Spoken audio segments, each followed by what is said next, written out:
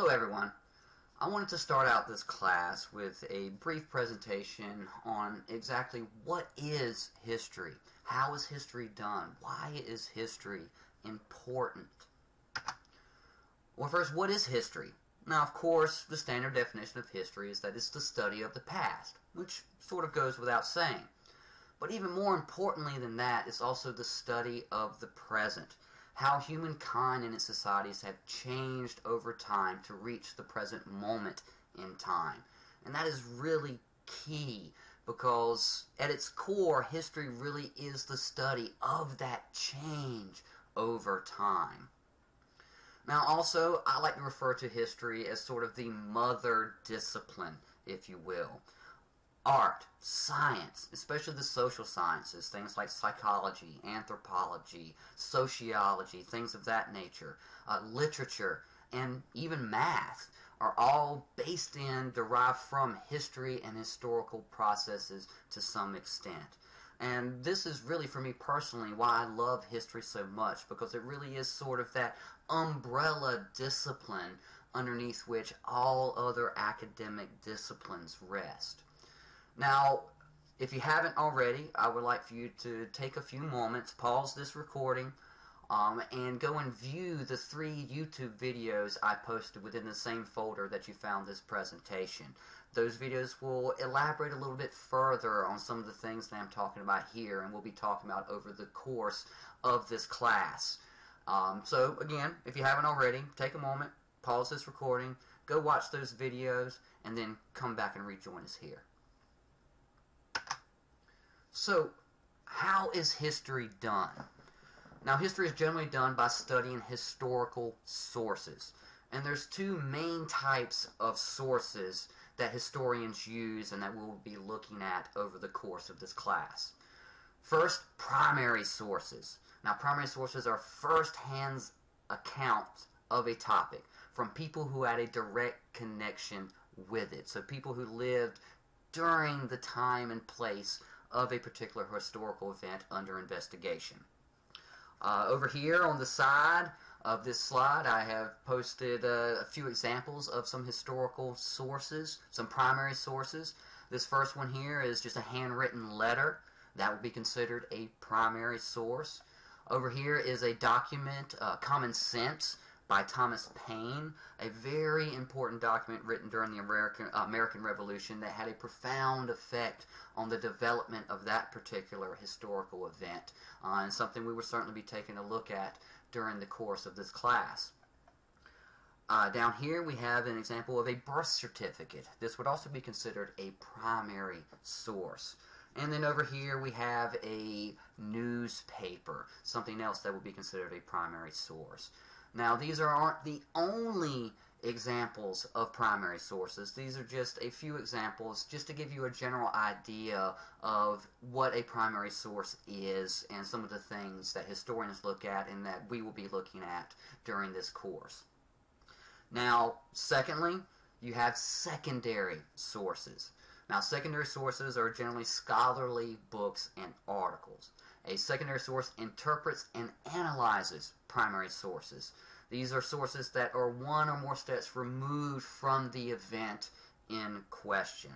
Now, a great example of a secondary source would be your textbook.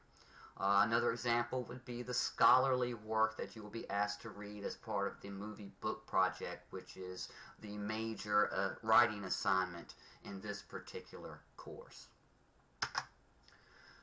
Now, I want to discuss with you some important aspects of developing historical knowledge, some ideas and terms that I'll be referring to over the course of this class that I want you to keep in mind as we are moving through this course and studying history.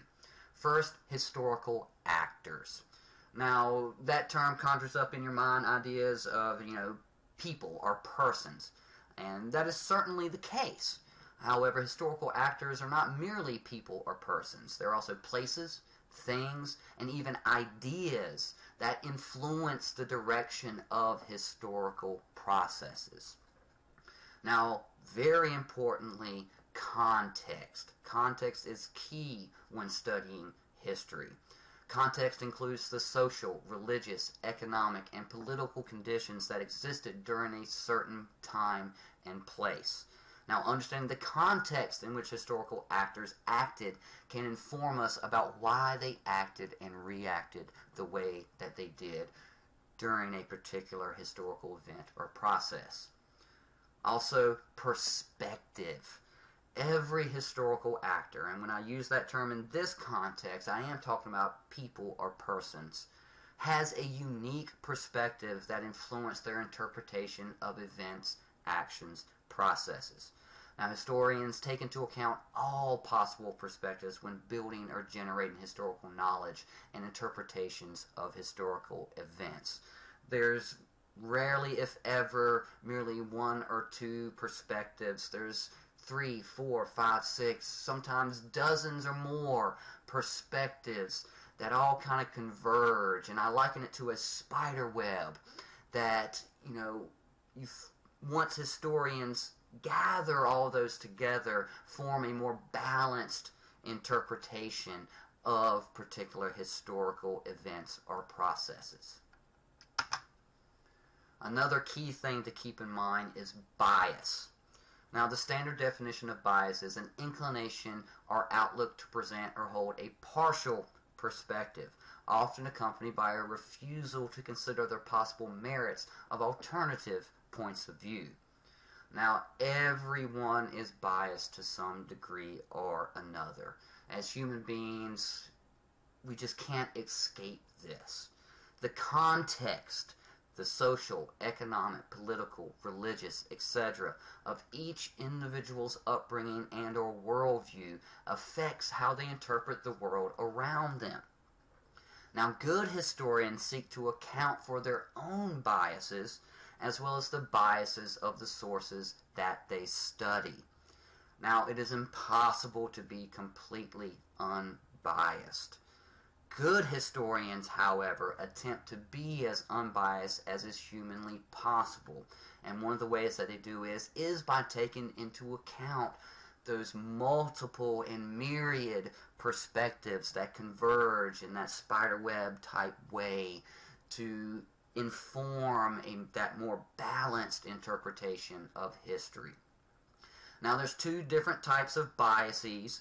There's the explicit bias, which is something that operates on a conscious level. It is expressed directly, and the people expressing it are often completely aware of this particular sort of bias.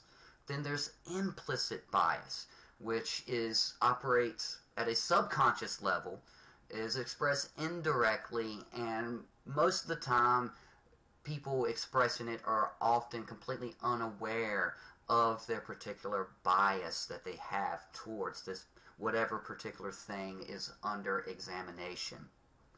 Now, both of these things are definitely at play when we are studying history, and part of a historian's job is to try to discern both those explicit and implicit biases that kind of run underneath the actual words on the printed page or in a recording that the historian is examining to try to form that interpretation and that analysis of historical processes and events. And to discern those biases is often very difficult, but is a key aspect of good historical investigation. Lastly, I want to discuss with you the difference between historicism and presentism. Now, historicism is an attempt to understand the peoples of the past on their own terms, within the context of their culture, their particular morals, their particular set of values, their biases, etc. Now, this is not meant to excuse the negative aspects of the past, but rather an attempt to understand the how, and even more importantly, the why such things occurred the way that they did. Now, presentism is an attempt to place the values and morals of the present onto peoples of the past. Now, good historians avoid presentism.